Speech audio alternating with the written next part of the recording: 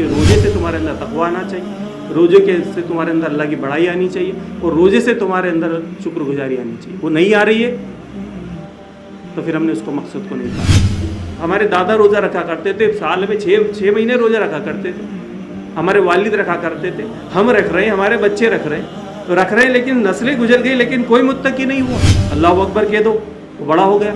अरे कोई नहीं कहेगा तो भी बड़ा है वो। जो उसने दीन दिया है उस रब ने उस अल्लाह ने हमको जो दीन दिया है, वो नेमत का सही इस्तेमाल हो। अगर उसकी नेमत का सही इस्तेमाल नहीं किया तो उसकी कदर नहीं किया। साल भर में एक रोज़ा रख लो, पिछले साल की एक गुना माफ़, अगले साल की एक गुना माफ़, सारे गुना माफ़। तो फिर क्या ज़रूरत है फिर?